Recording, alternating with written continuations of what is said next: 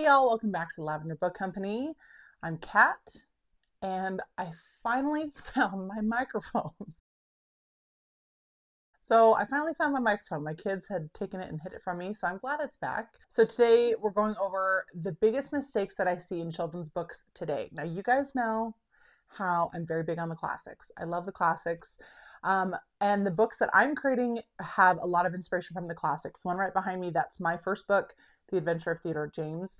I pull a lot of inspiration from the classics because I think there's a lot to be learned from them, um, but I'm giving them a little bit of a facelift. So here on this channel, I'm just talking about just children's books, everything children's books, my small business, and kind of giving a lot of the behind the scenes on creating my books and all that kind of fun stuff. So definitely subscribe. I'd love to have you stick around.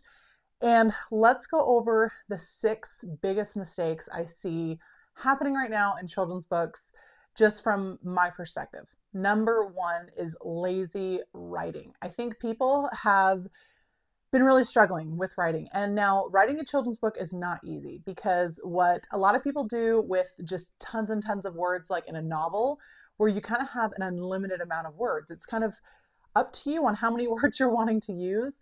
With a children's book, you have a very limited amount. It takes a lot of skill to be able to tell a story well and age appropriately with very limited words. One of the biggest ones that I see is showing and not telling.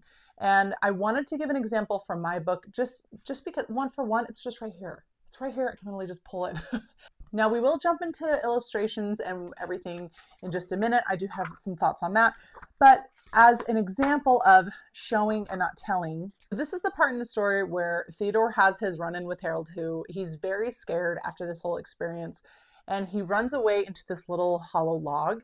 And so I'm going to read the next little blurb, and I think it's the perfect example of being able to kind of tell the reader what's going on without just coming out and telling the reader what's going on. It says Theodore ran a bit and scurried into a hollow log. Once safe inside, tears began streaming down his furry cheeks. The encounter with Harold Who had started to settle in, Theodore had been truly terrified. As he looked down, he saw his tail was trembling between his feet. So I do mention in there how he was very terrified in the experience, but I didn't explicitly say what he's feeling currently because the reader can kind of gather that information based off of the illustrations, the fact that he's crying, his tail is trembling between his feet. So he's just he's just really worked up, he's really scared, he's trying to get over what just happened.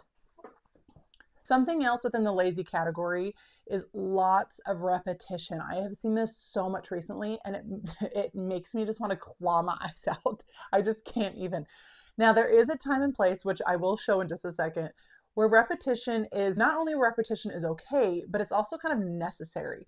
So you can use repetition in a book. I'm not saying it needs to be avoided at all costs, but there are just so many books nowadays that are just using repetition just because like it's almost like they have they have nothing else to say and it just comes across as just lazy writing. One of the great places i do love repetition and i find it extremely necessary is in color books. So you guys have heard me talk about mr paint pig before from richard scarry. I absolutely love that book. It's i'm so nostalgic for that book. I read it when i was a kid. Absolutely love it. This one is babar's book of colors and i absolutely love this book. My mother Got this for my son recently, and we have just been absolutely loving it. And they repeat the colors several times, but this is a case where it's very important because you're trying to help a child connect the name and the actual color together. So this is where it's very, very necessary. You can do repetition well, it just has to be in the right frame. All right, number two is not knowing which age range you're really going for. So when it comes to writing a children's book, before you really start diving into the manuscript or the illustrations or anything like that, once you have your story or your idea or whatever you're wanting to tell, you need to pick what age range you're wanting to shoot for. Now, this can be quite a range, but you need to kind of stick it within a handful of years because the reason is you're going to write a book very different from trying to approach like a board book like an infant to first grader, second grader, and on and on and on. So, like for me in my book, my book is kind of targeted mainly to three to seven years old, give or take. Um, I've seen other kids at different ranges still enjoy the book, still like it, but that's my main window of age. And the reason you do that is because when it comes to children's books, once you know your age range, then you kind of have a certain word count that you want to typically stay within. Now, this doesn't mean it's like a hard and fast rule. You can't it's not like you like are not allowed to go over or under these word counts, but it's a good guideline, it's a good baseline to know, okay, how many words should I be including in this book for these kids? What can they sit through? I see a lot of authors today almost like not knowing what age range they're wanting to go for because when you know this as well, it can also determine what kind of vocabulary you're going to use within your book. And you shouldn't shy away from using any vocabulary, especially like if you're a parent. Don't shy away from the books that have maybe a few bigger words in them because this is good practice for kids to either be able to take like context and try to kind of gather what that word means or they'll ask they'll ask you and want to know what does this word mean and that's so good for them to want to be able to ask questions to stuff that they don't have the answer to so don't shy away from those books i just see a lot of books today either being too overly simplified like we're just so afraid of using any words or they're too wordy now in my book i made sure to not shy away from too many kind of bigger vocab words for the age range so i'll kind of give a few examples of some words that i used so I use the word like assured, daunting, hibernate, trudged, analyzed, fumbled, and exclaimed. So those are just a few examples of the words that I used in my book where I didn't want to use words that were just so far beyond a child's understanding for that age range. But I also didn't shy away from using some words that they would still be able to understand if you explained it to them. So I did mention how some books today can also come across a little too wordy and I think that also shows people forgetting the role that illustrations play. And that's my number three. interesting thing with children's books is when, when it comes to novels, you use all the words to paint the scene. You can use any amount of words you want and any combination thereof to create the scene and to tell the storyline. Well, with children's books, you have to take into account the illustrations. The illustrations play such a massive role. And so there's things that can be kind of told or shown through the illustrations that you don't really have to or necessarily talk about in the actual writing of the book. It's just so nice to see when a book is written well and the illustrations are used to their full capacity because it just tells us such a better story overall. So, kind of going with the illustrations, I wanted to talk about another point on them, and that's not using them to their full advantage. Today, it almost just feels like the illustrations have kind of become like an afterthought, or there's not as much energy being put into the illustrations today as they once were. Um, now, a lot of books today have kind of moved towards digital art, and there's nothing inherently wrong with digital art. I don't think there's anything wrong. We own books with digital art, but I think that there should be a good mix in people's homes with like actual physical art and then digital art in children's books because children should always just be exposed to many different art styles and many different art types. But I think what's frustrating now is it almost seems like almost every book today is kind of falling back on the same default setting. And I think that's where a lot of the frustrations are coming in. And I think this is like a huge miss for like the children's literature community. If people don't know my my kind of my background, I have taken art classes from like kindergarten all the way up through college.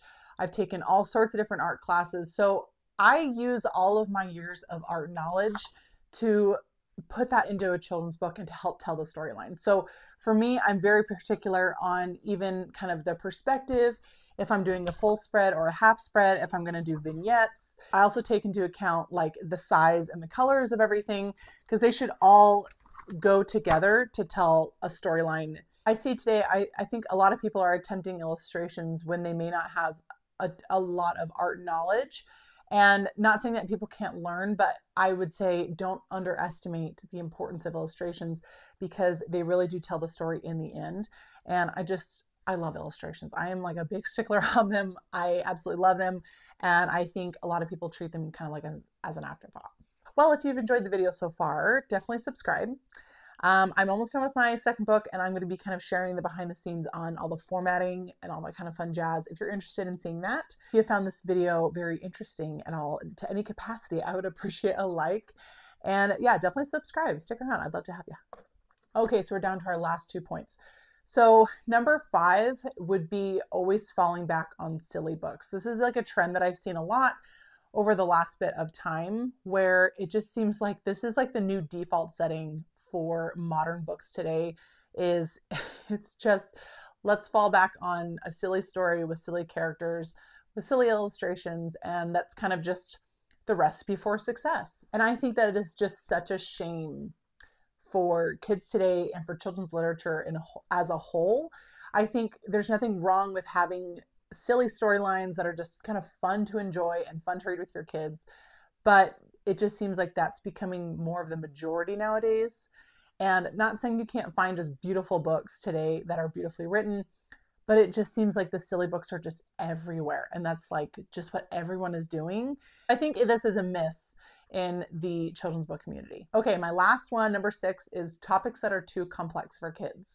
Now, ultimately, I think this is going to be up to kind of parents to decide what is too complex for your child at what age. Um, but I have seen just more topics that are being introduced to kids at a young age that even adults can't really understand or adults are having a hard time talking about. And so, while I do think that there are certain topics that should be explained to children, they should be explained at the right age and in the right way. I think really young kids, especially, they're already trying to learn so much about the world around them and kind of how they fit in and how to interact. And they're trying to kind of put all these pieces together. I think they're already trying to sort so much out. I don't think it's really fair to put topics on kids that that are just just too complex. They're just too complex in general. I find it really sad that children's books today have started incorporating these like messages and topics that I think are just so beyond what a kid should have to try to understand. Okay, that's it. That's my whole list. So let me know what you think down below. Did you agree? Did you disagree? Um, definitely like, subscribe. I'd love to have you stick around. I'm closing in on 1,000 subscribers, so I'm inching my way there. So I'm very excited. so thank you to everyone, and I will see you guys in the next one. Bye.